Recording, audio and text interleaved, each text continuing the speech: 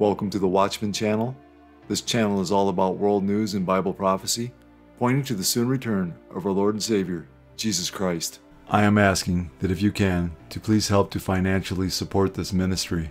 If you feel led to pledge any amount of money, it would be extremely helpful and greatly appreciated. There is a PayPal link in the description box and in my pinned comment below. You can also donate using Cash App. My cash tag is dollar sign Watchman 1963. Thank you all so much for your prayers and support. God bless. Jesus said, as a sign of his coming and the end of the age, there would be an increase in deception, false Christs who will deceive many, wars and rumors of wars, nation against nation and kingdom against kingdom, famines, pestilences, earthquakes, Christian persecution, apostasy, false prophets, and lawlessness causing the love of many to grow cold. Jesus said all of these signs would come like birth pains. Jesus was likening last days events to a woman in labor. As the labor progresses, the pains increase in both frequency and intensity until the baby finally comes. As we get closer to Jesus' return, all the signs he gave us as a sign of his coming and the end of the age will become more frequent and more intense. All of these signs are manifesting around the world in our time. John 15, 18 through 20. If the world hates you, you know that it hated me before it hated you. If you were of the world, the world would love its own. Yet because you're not of the world, but I chose you out of the world, therefore the world hates you. Remember the word that I said to you A servant is not greater than his master. If they persecuted me, they will also persecute you.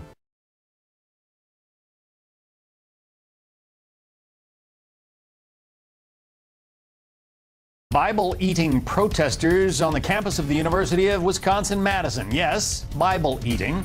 Those protesters snatched the Bible out of the man's hands, one of them ripping pages out of the book and then eating them. This incident took place on the campus of the University of Wisconsin Madison ahead of a speech by conservative author Matt Walsh, which critics called harmful to the trans community. Hey! Ho, ho! We are not here for debate.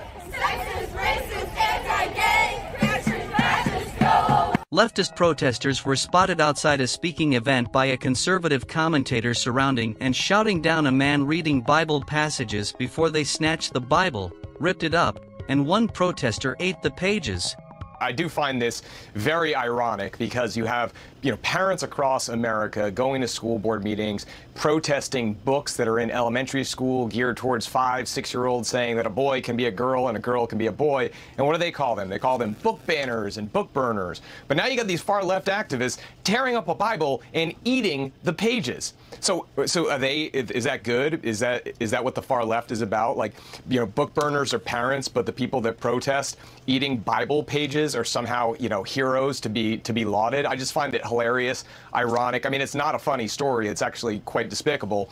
Um, but I think it's hilarious how you know these these individuals you know have no self-awareness whatsoever. Recently, there has been a tremendous increase in mockers and scoffers that are attacking Christianity and the Bible in general. On two occasions, the Bible warns that the closer the coming of the Lord Jesus, the greater the mockers and scoffers will become. 2 Peter 3 3 and 4. Knowing this first, the scoffers will come in the last days, walking according to their own lusts, and saying, Where is the promise of his coming? For since the fathers fell asleep, all things continue as they were from the beginning of creation. Jude 1:17 and 18. But you, beloved, remember the words which were spoken before by the apostles of our Lord Jesus Christ, how they told you that there would be mockers in the last time, who would walk according to their own ungodly lusts.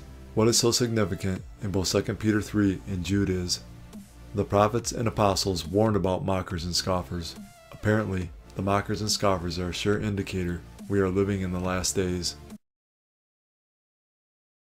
During Monday morning rush hour, a massive barrage of Russian missiles targeting the capital. Here in Kiev, the first explosions heard just after 8 a.m.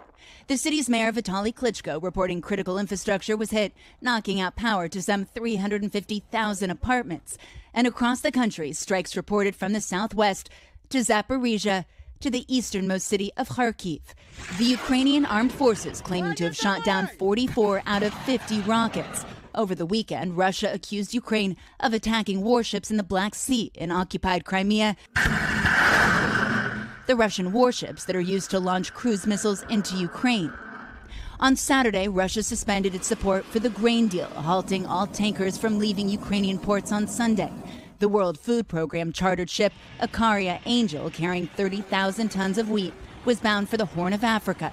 Delayed by a day, this morning, according to Ukrainian officials, 12 ships, including the Ikaria Angel, have left Ukrainian ports, even without Russian cooperation. Now, it's not just the 350,000 apartments that lost power this morning. That also means emergency rolling blackouts for everyone else in the Kiev region. Now, critical infrastructure was hit across the country. The other thing in the Kiev region we've learned this morning 80% of households are now without water. This as we head into a very cold winter. Those forced to live under Russian occupation, however, say liberation can't come soon enough.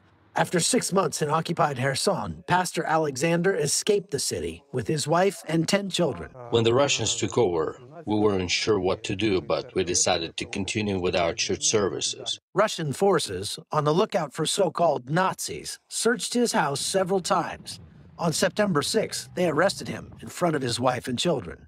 I was kept in solitary confinement for six days when they put me in a cell where there were seven people but only three beds. During interrogation, the Russians tried to prove he was a Nazi, ironically, because of an English Bible in his office. Pastor Alexander was more worried about photos on his phone. Many Americans donated to help with the construction of our church. He accused me of being an American agent. He was just looking for a reason to keep me. On my phone, there was a lot of evidence of my cooperation volunteering with the army. So that became my prayer that they would not even see my phone, and Lord closed their eyes to it. Between interrogations, he shared his faith with his cellmates. My wife had managed to slip me a small Bible. So with that, I started witnessing to the other men and myself were there together for another 10 days. But the seventh day, they had all made Jesus Christ the Lord. That was when I finally realized why I was there. Romans 10 14 and 15. How then shall they call on him in whom they have not believed? And how shall they believe in him of whom they have not heard? And how shall they hear without a preacher? And how shall they preach unless they are sent? As it is written, How beautiful are the feet of those who preach the gospel of peace, who bring glad tidings of good things. Alexander had no idea if he would ever see his family again. While I was being interrogated, the commandant said, If it was up to me, I would shoot all of you right now and throw you in the landfill. They hate Ukrainians so much, they cannot even stand to hear the word Ukraine. Then, after 15 days of captivity, a miracle happened. An Orthodox priest, whom I had never met before, came to the commandant and asked him to release me. And he agreed on one condition that he could keep my car. So at the church, there was still a minivan, and we put all my family into it, along with the injured neighbor, and we headed toward the front lines. Their ordeal wasn't over. It took four days and lots of prayer to get through all the checkpoints to reach friendly lines. I saw such joy in my children's eyes when they first came upon Ukrainians. They saw soldier and said, "Look, they don't have masks. The Russians are all walking around in masks." And I said, "That's because they have nothing to hide.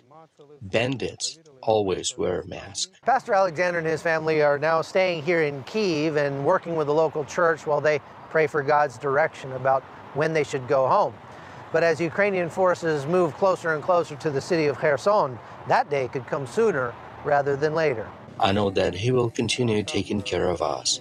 So I'm trying to seek first the kingdom of God and wait for everything else.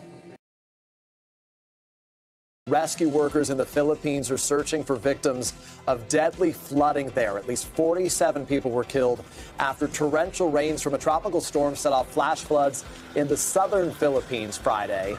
More than 60 villagers from a coastal community are feared missing, possibly buried in a huge mudslide. This is what's left of the town of Datu Sinsuatudin in Maguindanao province in the southern Philippines. Houses are left in ruins, trees uprooted, and cars were crushed. Typhoon Nalgae triggered intense rains that caused flash floods and landslides. Lives were lost. Rescue teams resumed their search and retrieval operations as soon as the rain stopped. Several bodies were dug under thick mud. Many residents who survived were traumatized and said that they will never come back to live in the village. I didn't know what to do when I saw the raging floods and there were rocks coming down from the mountain. All I could think of is that my family must survive. Typhoon Nalgae has sustained winds of 95 kilometers per hour and gusts of up to 130 kilometers per hour. It is weaker than Super Typhoon Noru that entered the Philippines late September. But the amount of rainfall brought by Typhoon Nalgae caused massive destruction. Alarm bells are ringing with the current unusually high temperatures in France and Spain, adding to worries about climate change related shifts to the planet's weather. In southwest France, people flocked to the beach as temperatures hit 29 degrees on Thursday. At the same time, Spain is experiencing its hottest October since records began. Concerns were also raised by climate experts this week when the UN Weather Agency announced greenhouse gases hit record high levels. Temperatures have reached 34 degrees Celsius in some parts of Spain. The freaky weather is expected to continue into the first two weeks of November. The UN has said there is no credible pathway in place to prevent global temperatures from surpassing 1.5 degrees above pre industrial temperatures, a goal set by the 2015 Paris Climate Conference, putting the world on track for potentially catastrophic outcomes. The world is baffled at the events taking place in the weather, and yet it was foretold 2,000 years ago in Bible prophecy that this would happen. Satan, the great deceiver, often tries to front run God by giving people wrong ideas ahead of time about what is prophesied to happen. Satan has tricked mankind into believing that climate change is real, and in turn has blinded many people to the gospel of Jesus Christ, as we read in 2 Corinthians 4 3 and 4. But even if our gospel is veiled, it is veiled to those who are perishing whose minds the God of this age has blinded, who do not believe, lest the light of the gospel of the glory of Christ, who is the image of God, should shine on them. Jesus said a sign of his return would be more frequent and more intense weather, as we read in Matthew 24 7 and 8. And there will be famines, pestilences, and earthquakes in various places. All these are the beginning of birth pains.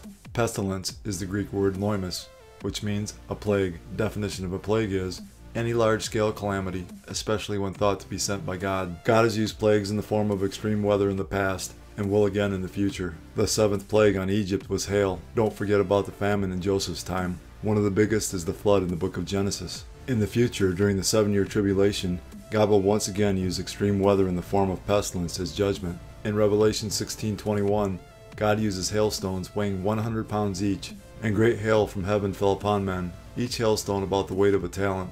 Men blasphemed God because of the plague of the hail, since that plague was exceedingly great. In Revelation 16 8 and 9, God uses scorching heat. Then the fourth angel poured out his bowl on the sun, and power was given to him to scorch men with fire, and men were scorched with great heat. And they blasphemed the name of God who has power over these plagues, and they did not repent and give him glory. Climate change is simply Satan's counter to Jesus' signs of his return and the end of the age. So when Jesus Christ warns us that just before his second coming, there will be famines, pestilences, and earthquakes in various places. You had better believe that these occurrences are a sign from God and that He is about to intervene. Don't let Satan blind you to the gospel of Jesus Christ. The extreme weather the world has been witnessing is not climate change. It is God letting us know our Lord and Savior, Jesus Christ, is returning. The Apostle Paul, in his epistle to Timothy, tells us in the last days society will be in a total immoral meltdown. 2 Timothy 3 1 through 5. But know this, that in the last days perilous times will come. For men will be lovers of themselves, lovers of money, boasters, proud, blasphemers, disobedient to parents, unthankful, unholy, unloving, unforgiving, slanderers, without self control, brutal, despisers of good, traitors, headstrong, haughty, lovers of pleasure rather than lovers of God, having a form of godliness but denying its power, and from such people turn away. 1305 Benton Avenue. Five rounds. They're in the ages of uh, 20 year olds to 60, uh, 60s. We're going to need another ambulance, possibly two more here. They shot up the sanctuary today. This has been one of the most devastating days of my life. We got two in custody, involved in the homicide. help us get these guns off the streets. A funeral for a victim of gun violence shattered by gunfire outside a church on Pittsburgh's north side. Six people wounded. Can you imagine you went to your great nephew's funeral and then shots ring out outside of the church? Investigators believe this mass shooting was targeted. Six people were shot. This is what fear looks like and sounds like. After bullets went flying outside Destiny of Faith Church in Pittsburgh's Brighton Heights, hitting six people during the funeral of 20 year old John Hernizes, who was killed last week in a gun battle on the north side. Italian police in Milan arrested a man who stabbed five people, killing one and wounding four others. One of those injured was Spanish footballer Pablo Mari. The man in question took a knife from a supermarket shelf before approaching and threatening people buying groceries. A man is in custody accused of stabbing two people to death yesterday in the parking lot of a Palmdale shopping center. The victim's loved ones are devastated. We talked to the woman's boyfriend. He's heartbroken. They have been dating for eight months. My heart didn't want it to be true. Yeah, same. But in my mind, the truth was that she was killed. She is gone now. Just in cold blood, just senseless. Tonight, Jesse Mercado fighting back tears after the murder of his girlfriend, McKenna Evans, and her father, Ken. Yesterday, the two were found stabbed outside their vehicles near Kohl's and Joann department store in Palmdale. Our camera capturing the murder suspect taken into custody. When he was in handcuffs, he smirked. He he just he had a smirk on his face. How dare he? I hope I hope he never gets out of prison.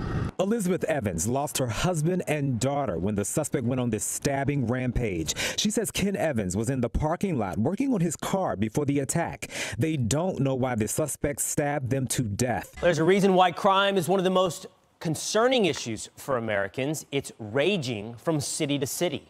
Just these past few weeks, we've seen some of the most outrageous crimes caught on camera notably in cities that are deep blue with new bail policies and uh, progressive prosecutors who are letting criminals out of jail. And well, the first one starts in Chicago. This is just all from this week. In Chicago, a car care business owner went inside his business, left the front door unlocked. He was going to conduct a virtual meeting. A few moments later, he looks up, and this man comes in with a gun. He does, though, Pete, something I think people are increasingly going to be apt to do. He fights back. I mean, watch this. He's got a gun waving at his face. His door was unlocked. He was holding gun a jams, meeting. He's think. jamming it, right? Yep. He's trying to he's trying to rack around. He can't. He realizes that's his opportunity. By the way, this individual pointing a gun at somebody else still at large. Let's go to New York City, where we've seen way too much of this over months. And this week, we saw another subway rider pushed onto the tracks. This time it's 32 year old individual who's been riding the subway Pete since he was in middle school. His entire life. And this guy just he's he's eyeing him up, looking for a target, wearing a mask, and he tees off. Randomly. Again, they don't know each other at all. Now, this is not something you see every day. No. This is in Pasadena, California. A woman attacks a home with um, a grandmother babysitting an infant just on the other side. She attacks it with a pickaxe. She's going at the windows.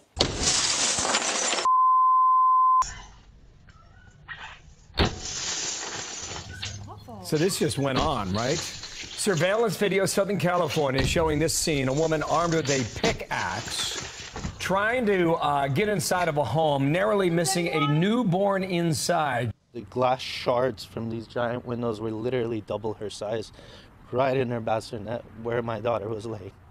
If she was five seconds late, my daughter would no longer be with us. Let's go down to New Orleans, where carjackings are on the rise. And this video uh, is of a woman who's walking out of a building, locked the gate, getting into her Honda CRV, and then a, a man who's been hiding in the bushes jumps out, grabs the car, punches her, as you just saw, jumps in, steals the car, carjacking, which are way up in New Orleans. All of these just from this week from all across the nation. You can see why Americans are ready to do away with the policies that lead to these rises, this rise in crime, and are ready to make their voice heard in the coming weeks. Totally random, which means it could be anybody's, which is why fear is so important, and often no arrests, and no consequences, which means the perpetrators feel like they can pull it off and do it again. So we've been talking about defunding the police. Suck it up. Defunding the police has to happen. We need to defund the police. Not only do we need to disinvest for in police, but we need to completely dismantle the Minneapolis Police Department. So yes, defund your butts. Defund you. Mayor Eric Garcetti saying take some of the money from policing, about $150 million. I applaud Eric Garcetti for doing what he's done. A lot of us were asked if we could imagine a future without police back in 2017 when we were running for office. And I answered yes to that question. We are going to reduce funding in the police department. What does the Bible say about lawlessness? To be lawless is to be without any rules or order. Laws are necessary in a sinful world, as we read in 1 Timothy 1 9 and 10. Knowing this, that the law is not made for a righteous person, but for the lawless and insubordinate, for the ungodly and for sinners, for the unholy and profane, for murderers of fathers and murderers of mothers, for manslayers, for fornicators, for sodomites, for kidnappers, for liars, for perjurers, and if there is any other thing that is contrary to sound doctrine. 1 John 3 4 defines sin as lawlessness. Whoever commits sin also commits lawlessness, and sin is lawlessness. When a society ignores the law, lawlessness is the result, and chaos ensues. The time of the judges after Joshua's death was marked by upheaval, oppression, and general disorder, as we read in Judges 17:6. In those days, there was no king in Israel. Everyone did what was right in his own eyes. Psalm 1 1 through 6 tells us the way of the righteous and the end of the ungodly. Psalm 1 1 through 6.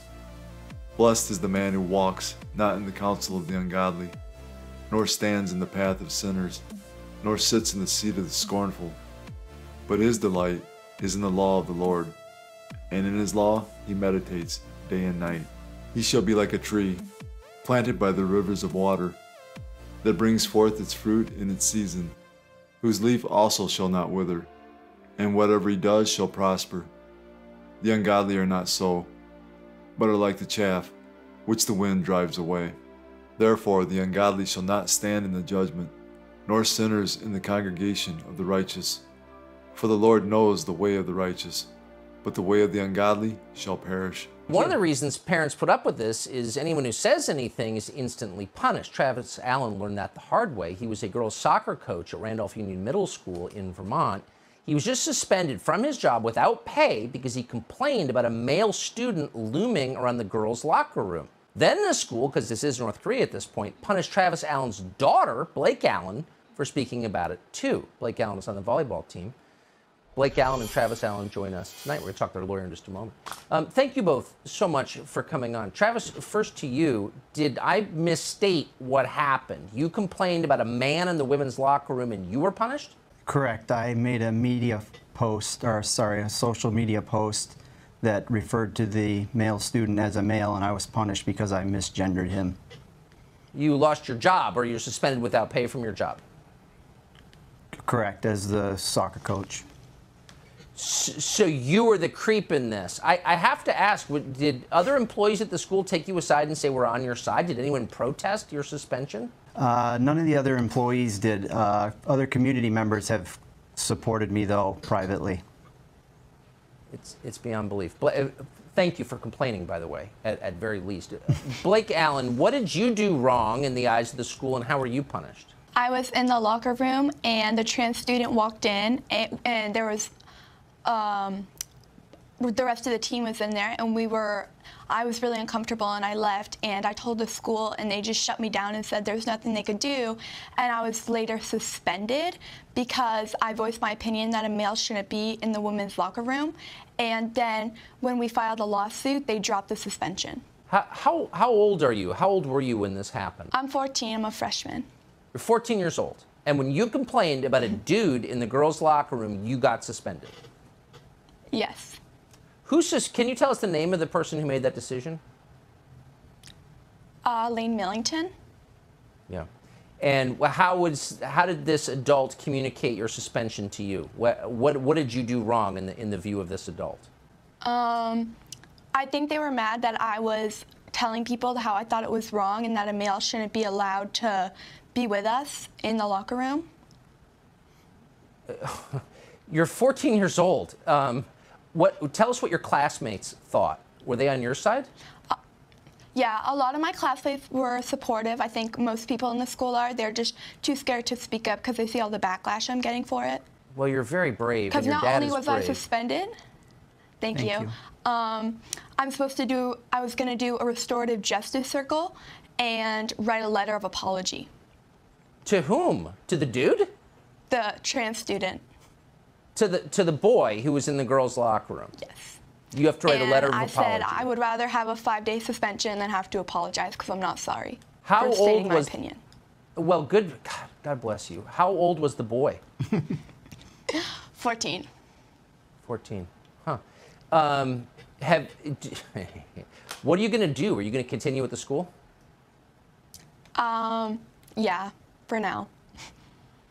It's all it's all so unbelievable. It really is. And it's only when people like you, Travis Allen and Blake Allen, take the lumps, stand up, tell the truth for just basic, basic human rights like the right to change without some guy staring at you. It's only when you do that that things get better. So I appreciate that you both did and that you're willing to talk on the show. Thank you. I want to go now to your lawyer, Tyson Langhofer, serves at senior, senior counsel at Alliance Defending Freedom.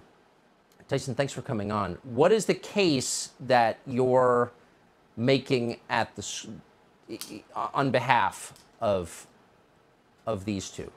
Sure. Well, the school district, they retaliated against both Blake and Travis for just simply stating their views. And, and First Amendment retaliation is, is, is a, uh, you know, prohibited by the Constitution. I mean, that's very clear that the government cannot retaliate against individuals simply for sharing their views. I mean, the crazy thing about this, Tucker, is that uh, the, you know, Blake, Blake understands this issue. She doesn't need to be re-educated. Males are males, females are females. Blake shouldn't be forced to, you know, change in front of a male or watch a male change, but that's what they're forcing her to do. And they're trying to force their ideology down everybody's throat and then punish anybody that, that has a different viewpoint. That's unconstitutional. Well, I thought they cared about girls too. 14 year old girls don't have a right to get dressed without a boy watching? I mean, is anyone standing up for girls? I mean, I'm hardly a feminist, but but what? Where are all the feminist groups? Yeah, it's, it's a good question. I mean, and then that's the that's the really sad thing is when a when a father comes and says, "Hey, who's standing up for my daughter?" He gets punished. He loses his job. He's suspended Yeah. without pay for simply saying, "Hey, what about my daughter?" You don't know. What the sad thing is, is all the other fathers who didn't do that, who are cowering like the cowards they are in their homes and letting this happen to their girls without fighting back. They should feel deep shame, and I hope they do. The Bible's teaching on good versus evil leads to a challenging conclusion that every person is obligated to make a fundamental choice between the two. That choice is entirely determined by our response to God, who is both the definition of good and our Creator. That means either following His will or rebelling and choosing to sin. 1 Corinthians 10:13. No temptation has overtaken you except such as is common to man. But God is faithful, who will not allow you to be tempted beyond what you are able, but with the temptation will also make the way of escape, that you may be able to bear it eternally. This means we either choose to accept God and His salvation or align ourselves against Him. While we may be imperfect and fallible, we cannot be neutral in our approach to good versus evil. We are either seeking the goodness of God or the selfishness of evil. The prophet Isaiah put it succinctly Woe to those who call evil good and good evil, who put darkness for light and light for darkness, who put bitter for sweet and sweet for bitter. The signs of Jesus' soon return are so strong now, and the evidence is so clear, that any person willing to accept the truth can see that the end of the world as we know it is near. For God so loved the world that he gave his only begotten Son, that whoever believes in him should not perish, but have everlasting life. For all have sinned and fall short of the glory of God. But God demonstrates his own love toward us, in that while we were still sinners, Christ died for us. For the wages of sin is death, but the gift of God is eternal life in Christ Jesus our Lord. That if you confess with your mouth the Lord Jesus and believe in your heart that God has raised him from the dead, you will be saved. These are the ABCs of salvation. A. Admit that you're a sinner. B. Believe in your heart that Jesus Christ died for your sins, was buried, and God raised him from the dead. See, call upon the name of the Lord, and you will be saved. When a person comes to know Jesus as their Savior, they are brought into a relationship with God that guarantees their salvation as eternally secure. To be clear, salvation is more than saying a prayer or making a decision for Christ. Salvation is a sovereign act of God whereby an unregenerate sinner is washed, renewed, and born again by the Holy Spirit, as we read in John 3:3 and Titus 3:5. Jesus answered and said to him, Most assuredly I say to you, unless one is born again, he cannot see the kingdom of God, not by works of righteousness, which we have done, but according to his mercy he saved us, through the washing of regeneration and renewing of the Holy Spirit. When salvation occurs, God gives the forgiven sinner a new heart and puts a new spirit within him, as we read in Ezekiel 36:26. I will give you a new heart and put a new spirit within you. I will take the heart of stone out of your flesh and give you a heart of flesh. The Spirit will cause the saved person to walk in obedience to God's word, as we read in Ezekiel 36:27 and James 2:26. I will put my spirit within you and cause you to walk in my statutes, and you will keep my judgments and do them.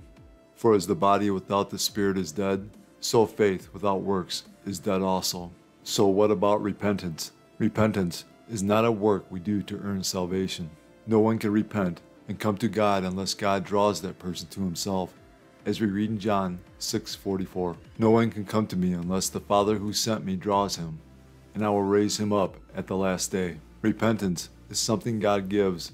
It is only possible because of his grace. All of salvation, including repentance and faith, is a result of God drawing us, opening our eyes, and changing our hearts. God's long suffering leads us to repentance, and so does his kindness as we read in 2 Peter 3 9 and Romans 2 4. The Lord is not slack concerning his promise, as some count slackness, but is long suffering toward us, not willing that any should perish, but that all should come to repentance.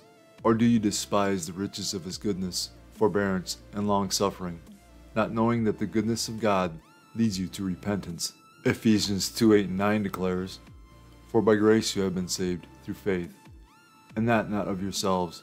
It is the gift of God, not of works, lest anyone should boast. Works are not the cause of salvation. Works are the evidence of salvation. Faith in Christ always results in good works. The person who claims to be a Christian but lives in willful disobedience to Christ has a false or dead faith and is not saved. In the Bible, repentance results in a change in behavior. That is why John the Baptist called people to produce fruit in keeping with repentance as we read in Matthew 3:8. Therefore, bear fruits worthy of repentance. A person who has truly repented of his sin and exercised faith in Christ will give evidence of a changed life as we read in 2 Corinthians 5:17. Therefore, if anyone is in Christ, he is a new creation. Old things have passed away; behold, all things have become new. A person who has not repented of their sin and exercised faith in Christ will give evidence of the works of the flesh as we read in Galatians 5:19 through 21. Now the works of the flesh are evident, which are adultery, fornication, uncleanness, lewdness, idolatry, sorcery, hatred, contentions, jealousies, outbursts of wrath, selfish ambitions, dissensions, heresies, envy, murders, drunkenness, revelries, and the like, of which I tell you beforehand, just as I also told you in time past that those who practice such things will not inherit the kingdom of God. A person who has crucified the flesh and belongs to Christ will give evidence of the Spirit, as we read in Galatians 5:22 through 24. But the fruit of the Spirit is love, joy, peace, long-suffering, kindness, goodness, faithfulness, gentleness, self-control. Against such there is no law. And those who are Christ's have crucified the flesh with its passions and desires. Believers are born again, regenerated when they believe. For a Christian to lose his salvation, he would have to be unregenerated. The Bible gives no evidence that the new birth can be taken away. The Holy Spirit indwells all believers, as we read in John 14:17. The Spirit of truth, whom the world cannot receive, because it neither sees him or knows him, but you know him, for he dwells with you and will be in you. The Holy Spirit baptizes all believers into the body of Christ, as we read in 1 Corinthians 12:13. For by one Spirit we were all baptized into one body, whether Jews or Greeks, whether slaves or free, and have all been made to drink into one Spirit. For a believer to become unsaved, he would have to be unindwelt and detached from the body of Christ. John 3:15 states that whoever believes in Jesus Christ will have eternal life. If you believe in Christ today and have eternal life, but lose it tomorrow, then it was never eternal at all. Hence, if you lose your salvation, the promises of eternal life in the Bible would be in error. Scripture says, For I am convinced that neither death nor life, neither angels nor demons, neither the present nor the future, nor any powers, neither height nor depth, nor anything else in all creation will be able to separate us from the love of God that is in Christ Jesus our Lord. Remember, the same God who saved you is the same God who will keep you. Once we are saved, we are always saved. Praise God, our salvation is most definitely, eternally secure. Time is short. Call upon the name of Jesus today. One day, Jesus is coming. You may be at church. You may be at work. You may be asleep. God grant that you will be ready when He makes His personal appearance.